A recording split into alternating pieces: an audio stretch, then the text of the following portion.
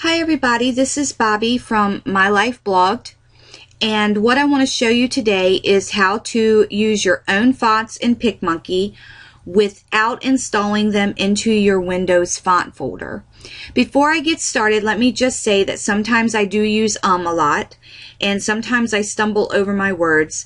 Please don't hold it against me and stop the video because I really think you're going to find it useful and I can't help it. It's just sometimes what I do. so let's get started. And the reason why I want to show you how to do this is because I noticed when PicMonkey first started offering this service of you using your own fonts in PicMonkey that a lot of people on Facebook groups, on Facebook pages, and around the web were encouraging other people to download and install fonts into their Windows font folder on their computer. Normally, that's okay if you want to install a few fonts that you use all the time. Like I um, do install like fonts for holidays that I know that I really like, but I, I may not find it next year or fonts that I use in web design, I will install into my computer so I know where they are. However, when you are installing hundreds of fonts into that Windows font um, folder on your computer, it's going to drag your computer down eventually because your fonts from Windows are pulled into all of your programs that you use, such as Word or Photoshop or WordPad Excel, any kind of editing program or word program that you have, it's going to pull those fonts, even your email. So if you have hundreds of fonts in that Windows font folder and they're being pulled in all these programs, eventually it's going to slow down the computer and it's it's going to drive you batty because you're not going to understand why your computer is being slowed down so much. So, but on the upside, there is a way to get around this and a way to use whatever font you want to use in PicMonkey without dragging your computer down, and that's what I want to show you today. So let's get started. Um, the program you will need is called Nexus Font. It's a free download. I will include the link in the blog post if you came over from the blog post or if you just found me on YouTube, then the link will be below in the description box. There are several font viewers available for free or paid. My favorite just happens to be Nexus Font because it does everything that I need it to do and it's free. However, you may like something different, so feel free to play around with them. Also, just to let you know um, a couple of things is that you will need to pull up your Nexus font and your fonts before you open up PicMonkey. If you don't open up Nexus font first, the fonts are not going to show up in PicMonkey. At least that's what happens on my computer. Now, a lot of other people may be doing the same thing and they're like, oh, well, I don't have to do that well, just for my computer, I have to do it, so I felt obligated to tell you to go ahead and pull up your Nexus font before you open up PicMonkey or open up your picture to edit.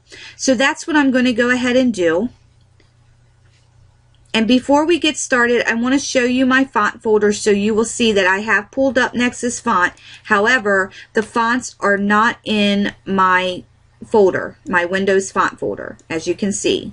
I do have a few that are in here that I have um, installed for, you know, because I use them a lot. But most of them are regular Windows font folders that are Windows fonts that come with the computer or with whatever program that did come with fonts that I've installed. Okay, so now that I've showed you that, we are going to go ahead and do this. It's going to be super easy.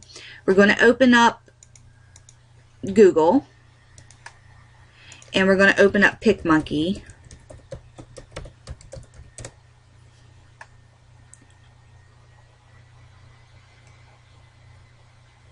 And we're going to pull in a picture to edit. I'm just going to choose a random picture because I didn't do one just for this particular tutorial. And my computer is running a little slow because the internet's a little slow today. So just bear with me. So I'm going to just pick a picture of the doggy. And I'm going to go to text.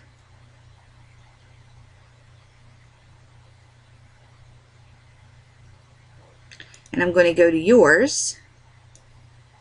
And I want to show you.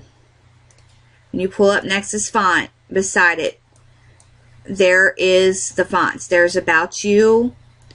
There is the Adora Nada you go down there's agency. So as you can see all the fonts that are in my fonts folder are in PicMonkey now and I didn't have to install them into my Windows font folder. And I'll go back and show you that one more time so you can see that I did not install them.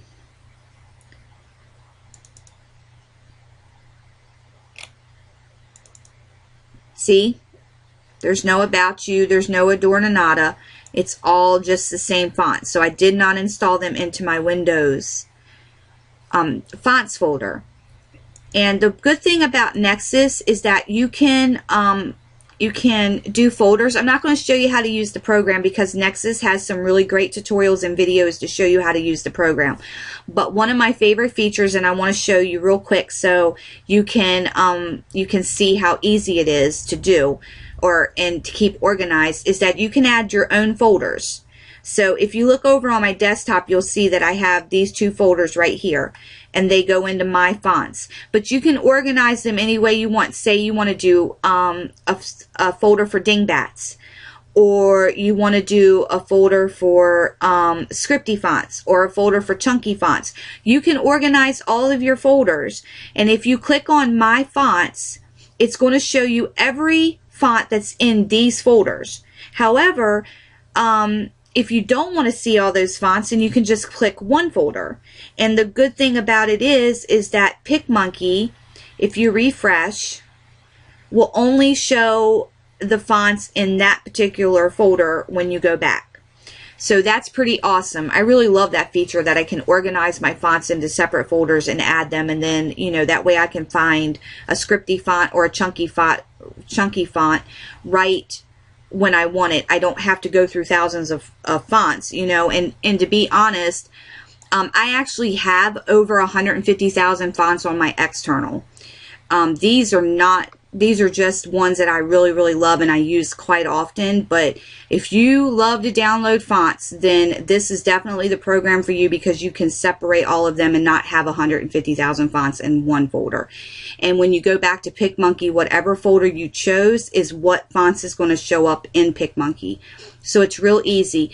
And you do not have to um, install all those fonts into your Windows font folder and it won't slow you down. I hope you learned something and I hope you at least try the, the program out um, and see if it works for you. You know, and these fonts can also show up in every other program that you use. Like if you want different fonts for Photoshop, you pull up your Nexus font and it will, um, the fonts will show up there too. So it's not just PicMonkey, it's for all of your programs that you use that you can use different fonts, your email, etc. So have a good day. And um, if you have any questions, please feel free to ask me. I will answer them the best I can. Um, feel free to shoot me an email. There's a contact email on um, mylife-blogged.com. So have a great day and I'll see you next video.